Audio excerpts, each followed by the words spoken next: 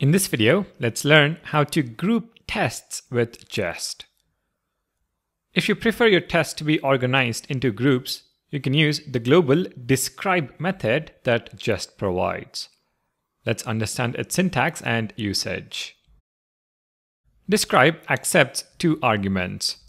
The first argument is the group name, and the second argument is a function that contains the test to be executed.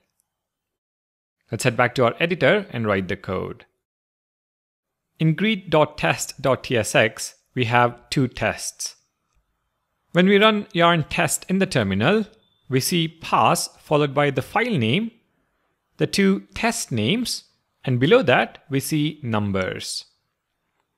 Test suites, we have one in total and one has passed. Tests, we have two in total and two have passed.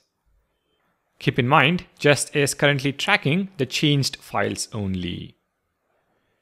What we can do now is wrap the two tests with a describe block. Describe.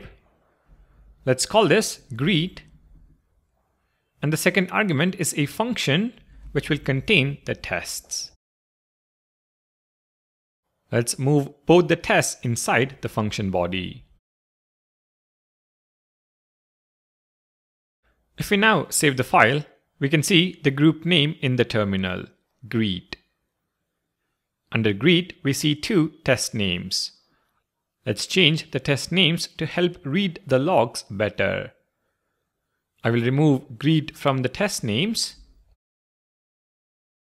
and save the file. The terminal now reads greet renders correctly, greet renders a name. As you can see, we are able to group together multiple tests. There are also a few additional points to make note of about the describe method. First, it is possible to use dot only and dot skip with a describe block as well. The behavior remains the same as test.only and test.skip, which we had a look at in the previous video. Second, it is possible to nest describe blocks. For example, I can add another describe block that wraps just the second test. Let's call it nested. The second argument is a function that contains our test. If we now save the file, we see the hierarchy in the terminal. Greet and then nested. Of course, you would want a more logical grouping than what I have demonstrated here. Finally, you can also add multiple describe blocks in the same file. I can cut the nested block and paste it outside. Save the file and we now see two groups in the terminal. It is quite common to use the describe method when writing tests. I want to point out one confusion that you may have when dealing with describe blocks and the terminal output. In the output, we see test suites as 1.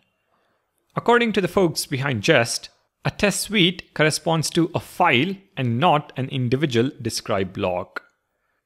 Although you group tests together using describe, it does not correspond to a test suite.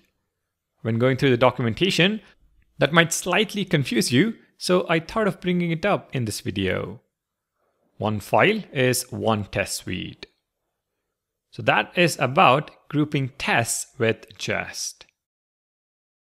To summarize, you can use the global describe method that Jest provides to group tests together. There can be multiple describe blocks in each test file and they can be nested to create hierarchy. You can also use dot only and dot skip with describe to filter a group of tests to be run or skipped. Alright, in the next video, let's take a look at the file name conventions that Create React App follows.